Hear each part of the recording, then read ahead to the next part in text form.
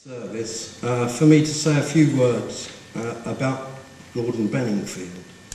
Uh, I know many of you went to the memorial service in St Albans, uh, but Gordon's contribution uh, to the Countryside Restoration Trust uh, and to the countryside itself has been so enormous that we felt that it was only right for me to say a brief thank you uh, to Gordon uh, here today.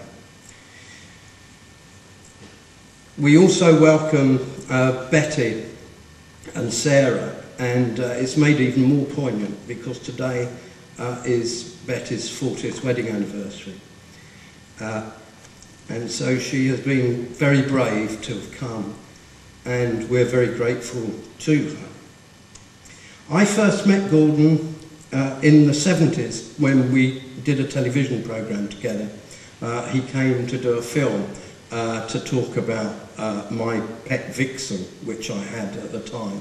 And he was one of those people um, who I, I was attracted to straight away because we had so many things in common and we became friends immediately. Uh, our concerns and our enjoyments were the same. Our concerns were the countryside and what was happening to it, and our enjoyment was the same as well, in that we loved laughter and we loved doing country things and enjoying them as well. Uh, and so, yes, he did take the destruction of the countryside very seriously. He did take his painting very seriously, uh, but he also enjoyed life and he loved life, and laughter was part of his life. We discussed many times the destruction of the countryside that we saw. We saw hedges going, we saw water meadows going, we heard the skylark less, the song thrush less, all the things that he loved in his childhood in the country, he saw gradually decreasing. And it was a thing that worried us enormously. And as long ago as 1980, we went to the RSPB, the pair office. He just rang me up and he said, let's go and tell the RSPB what they should be doing. Uh, and we rang up uh, Ian Prestt, the director, and said, we want an appointment to come and see you. And we went there. And it was the time of the Wildlife and Countryside Bill. It was about to uh, uh, come into discussion in Parliament. And Gordon said, fine, sites of special scientific interest are fine, national parks are fine. What about the general countryside?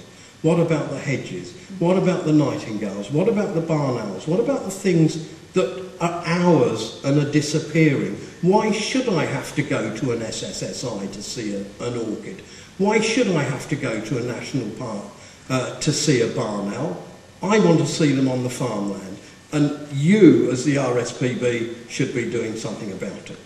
Unfortunately, dear Ian Prestt was a scientist. Uh, nothing wrong with that, David. Um, um, uh, but he was locked in to special areas, and Gordon actually banged on the table and said, What about the hedges? Uh, we got nowhere, and we were shown the door. Um, we still spoke about it. Then Laurens van der Post uh, came on the scene too. And again, we discussed what can we do? What should we do? And gradually the whole idea of the Countryside Restoration Trust came into being. And it was really the strength and perseverance of both Laurens and Gordon uh, that made it all possible. When the idea formed, I said to them both, will you be trustees? The immediate answer was yes. Gordon could have had a very comfortable life, painting pictures, going to nice places, but he actually decided that he had to make a stand and he fought for things. He fought for the things that those of us here believe a right to fight for. And he got into hot water with councillors, politicians, all sorts of people. And I'm glad he did. I'm glad he made them feel uncomfortable. And I hope the CRT are going to continue making them feel uncomfortable. Uh, because things in the countryside are wrong and we want them to be put right. Uh, he was appalled when his wonderful River Gade dried up. And I remember going with him along this river, and he said, That's where the trout lies, and the trout was there. There's the kingfisher, there's the kingcup. But through over abstraction, the River Gade dried up for two, three years, and yet they're still going to build even more houses near Hemel Hempstead and take even more water from it when the damage to the environment has, has been done. And so Gordon was a fighter, and he fought for what he thought was right. He thought that the aims of the CRT were right, and he was my right-hand man. Uh, I phoned him up several times a week. Whenever there was a problem, whenever there was a new idea, Gordon was there, and he was there uh, to support me.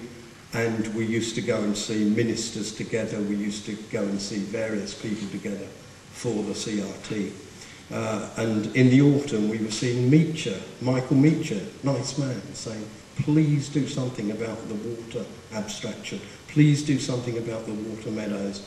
Uh, and Gordon was steady, loyal, and he was humorous. Uh, and he, we had many, many happy days, as everybody who knew him had happy memories of him. Uh, I mean, the funniest one, one of the funniest ones was, I think it was at the game fair, when somebody uh, asked him what he did for a living, and he said, painter. And they said, well, can you give me an estimate for my bathroom? and then his brother um, has the same gene because he rang me up, or, or Sarah passed on the message for him, uh, and said, before you come to the memorial service, don't forget to wash your trainers. Um, I did more than that. I actually bought a pair of black leather shoes that I'm not wearing today. One of the funniest things too was down in the Brook Meadow, where my sheep are that many of you will walk through this afternoon or have walked through already.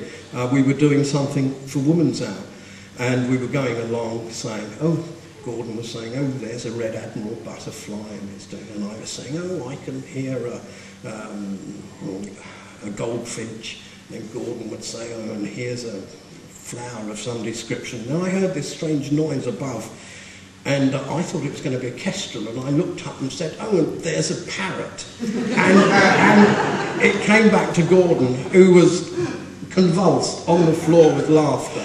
And there really was a parrot, but he was in no condition to carry on the broadcast because he was totally finished. And so Gordon was a fighter for the countryside, a man who loved life, and I think it was I know that it was a privilege for all of us here who met him uh, to meet such a wonderful man. At the end of yesterday, after the first open day, I was walking through our little meadow, which I hope many of you will, uh, and I heard this, this wonderful mixture of melodies, the skylark and the willow warbler. And my immediate thought was, I must ring up Gordon and tell him about this. And those of us who had the good fortune, he is still there in our thoughts because his impact was so real. I think we have to make sure in the CRT that Gordon's wishes for the countryside, his fighting spirit for the countryside, go on and the greatest tribute to him can be our laughter and the lark song over every field. Thank you.